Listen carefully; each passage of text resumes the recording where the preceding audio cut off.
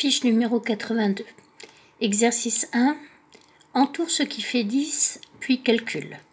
Donc ici, il s'agit de, parmi les trois chiffres qui sont là, d'entourer les deux qui font 10 et ensuite d'ajouter le troisième, le troisième chiffre.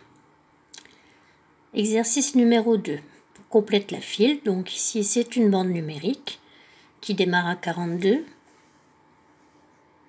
et dont le dernier nombre est 55, enfin l'avant-dernier, et donc il va falloir compléter ce qu'il y a entre les deux.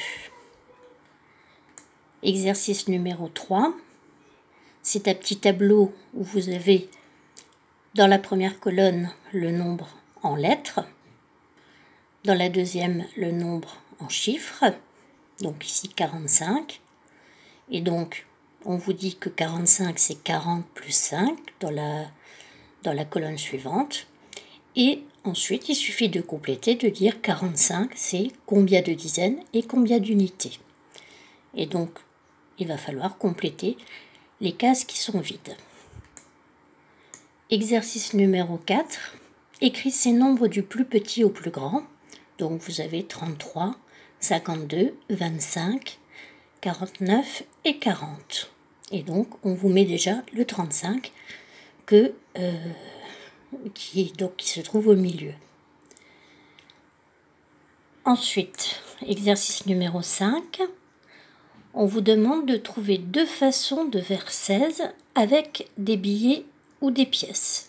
Alors, vous êtes obligé euh, d'utiliser euh, les pièces et les billets qui sont là pour pouvoir faire 16.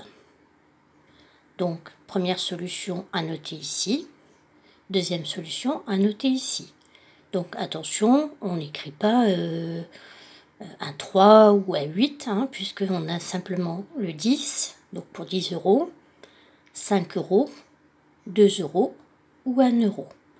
Évidemment, on peut utiliser plusieurs fois la même pièce ou le même billet.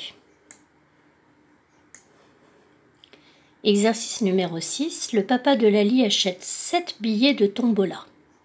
Chaque billet coûte 2 euros. Combien paye-t-il en tout? Alors, si vous trouvez la réponse tout de suite, vous la notez ici. Si vous avez besoin de faire des calculs ou des dessins, vous pouvez les faire ici.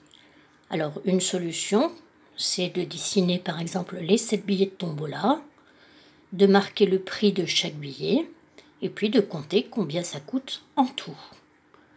Vous pouvez aussi, étant donné que les billets coûtent 2 euros, penser au double par rapport à ce nombre.